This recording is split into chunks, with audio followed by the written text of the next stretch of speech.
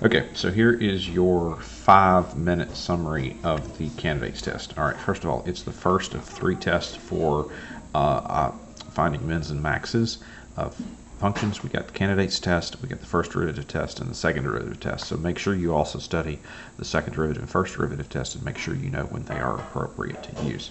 So the candidates test is for finding absolute mins and maxes on a closed interval. That's the only situation that it can be used in. All right, so here, here's how it goes. Um, so if we've got a function, y equals f of x, and we want to find its absolute min or max on this closed interval, the first thing we're going to need to do is find where f of x is equal to 0 or does not exist. Okay, uh, f prime, so you've got to calculate f prime, you've got to set it equal to 0, and then you've got to solve here. Now, the D and E case is going to be rare on the AP exam, and the method you're going to determine that is going to going to vary depending on what the function is. But if if f prime is a continuous function, you don't have to worry about uh, does not exist. So only place you have to worry about this is that f is not differentiable, or, which means f prime not continuous. Most of the time on the on the Quizzer test, you won't have to worry about that second case. All right. So then, what we're going to do is we're going to call this the we're going to call the solutions to f prime equal f prime of x equals zero. We're going to call those. I'm going to say that's those are. Let's just say there's one of them, and that is a a critical number. Mm -hmm.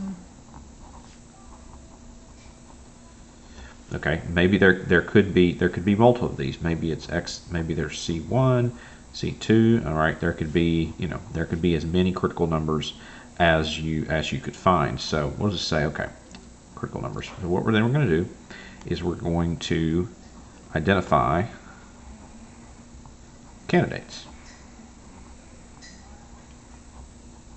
Those candidates are always going to be the critical numbers and the endpoints.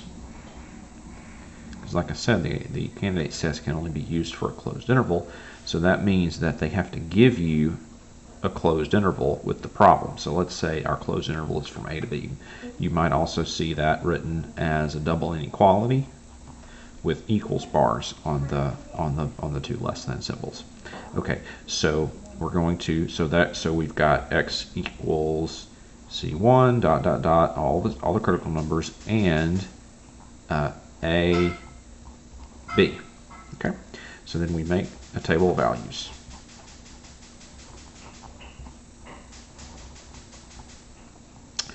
The table of values has all our candidates in it. C1, C2, da, da, da, you know, however many uh, critical points there are.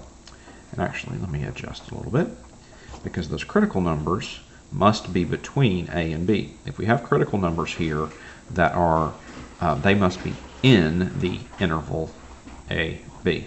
If they're outside the interval, we do not consider them.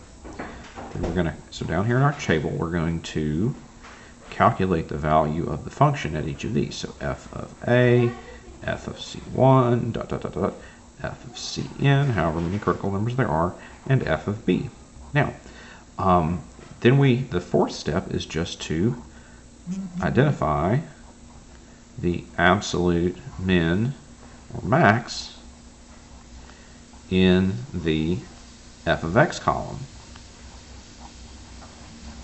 And so one might say, so the answer might look like this.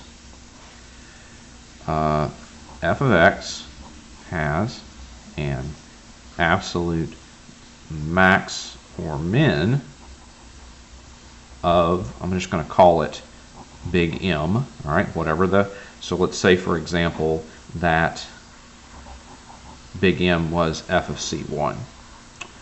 Um, at x equals, okay, we got to give the equation, okay, the location, so that's at C1. So now that is a, that's an example. You're going to fill in the, the y value, or the f of x value here and then give the location here. And that and this uh, if you follow this method this should get you full credit on any problem that requires the candidates test